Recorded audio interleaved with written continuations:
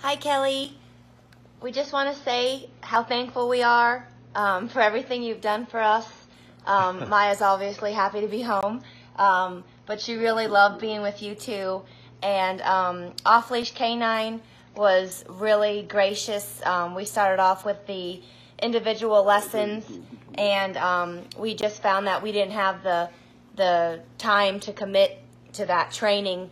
Um, and we decided after the second class that we were going to do the um, the board and train, and and they just completely uh, washed out the two classes that we did and didn't count those and put all of our money to the um, board and train, and that was really important to us, and just told us how what a great company they are.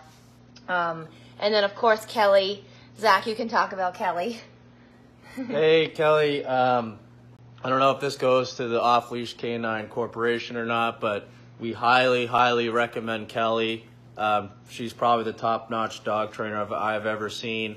Uh, she's a great communicator, and uh, she really um, did a, a, great job. And um, just the, you know, the, the training for Maya is not going to stop after the board and train. It's going to continue on going with, uh, with us training her at home, and Kelly has volunteered to uh, help us out even after the board and train. So that's really awesome, and we do appreciate that.